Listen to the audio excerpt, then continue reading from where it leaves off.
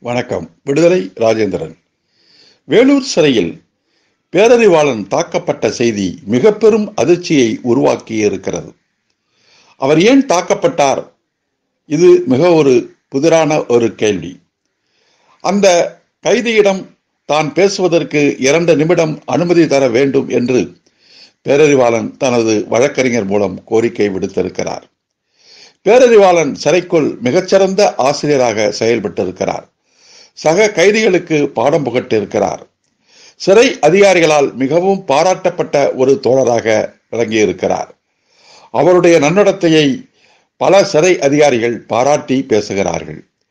அத்தகைய ஒரு தோழருக்கு ஏன் இப்படி ஒரு நிலைமை வர வேண்டும்? சிறைக்குள்ளே பாதுகாப்பற்ற நிலை இருக்கிறதா? இந்த கேள்விகளுக்கெல்லாம் தமிழக அரசு பதில் சொல்ல வேண்டிய அவசியம் இருக்கிறது. சக கைதி ஒருவரால் ஏன் தாக்கப்பட்டார் என்பது குறித்து தமிழ்நாடு அரசு விசாரணைக்கு உட்ல உத்தரவிட வேண்டியது மிகவும் அவசியமாகும். அது மட்டுமன்றி சிறையில் நீண்ட காலமாக வாடிக்கொண்டிருக்கின்ற ஏழு தமிழர்களையும் நூற்றி அறுபத்தி ஓராவது விதியை பயன்படுத்தி விடுதலை செய்ய வேண்டிய தருணம் இப்போது வந்துவிட்டது.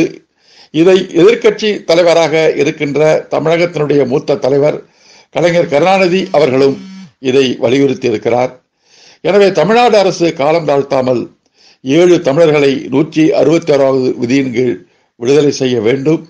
இந்த தாக்குதலுக்கு பின்னால் இருந்தவர்கள் யார் என்பதை கண்டறிவதற்கு நீதி விசாரணைக்கும் உத்தரவிட வேண்டும் என்பதே தமிழ்நாட்டு மக்களுடைய கோரிக்கை.